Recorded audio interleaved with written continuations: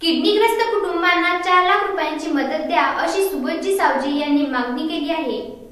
जळगाव संग्रामपूर नांदुरा व शेगाव या खारपानपट्ट्या तालुक्यातील किडनी आजाराने मृत झालेल्या कुटुंबांना प्रत्येकी चार लाख तर डायलिसिस उपचार घेत असलेल्यांना प्रत्येकी दोन लाख व किडनी रोगांचा प्रादुर्भाव असलेल्यांना प्रत्येकी पन्नास हजार रुपयांची मदत शासनाने द्यावी अशी मागणी बुलढाणा जिल्हा शासकीय नळपाणी पुरवठा योजना भ्रष्टाचार निर्मूलन समितीचे अध्यक्ष माजी राज्यमंत्री सुबोध सावजी यांनी गुरुवारी जळगाव जामोद येथे पत्र परिषदेत केली आहे.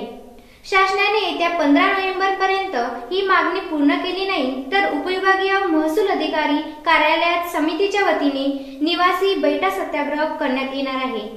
पत्र परिषदेत याबाबत विस्तृत माहिती देताना सुबोधजी सावजी यांनी सांगितले की जळगाव जामोद व संग्रामपूर तालुक्यात दोनशे आठ गावात आणि नांदुरा व शेगाव तालुक्यात तीस ते चाळीस गावात दूषित व क्षारयुक्त पिण्याच्या पाण्यामुळे किडनी आजारात वाढ झाली आहे.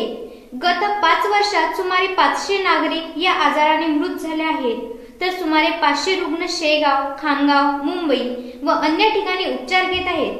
तसेच किडनी रोगाच्या आजारावर नियंत्रण करण्यासाठी शासनाने जळगाव व संग्रामपूर तालुक्यात प्रत्येक जिल्हा परिषद सर्कलमध्ये वैद्यकीय मदत केंद्र सुरू करावे आणि या आजारांवर नियंत्रण मिळवण्यासाठी एकशे चाळीस गाव पाणी पुरवठा त्वरित पूर्ण करावा तसेच प्रशासन व शासन यांनी किडनी आजाराने त्रस्त झालेल्या कुटुंबियांबाबत समितीने सुचवलेल्या उपाययोजना दिनांक चौदा नोव्हेंबर पर्यंत कार्यान्वित केल्या जाईल तर दिनांक पंधरा नोव्हेंबरपासून उपविभागीय महसूल अधिकारी कार्यालयात समितीच्या वतीने निवासी बैठा सत्याग्रह करण्यात येईल असेही सुबोधजी सावजी यांनी सांगितले.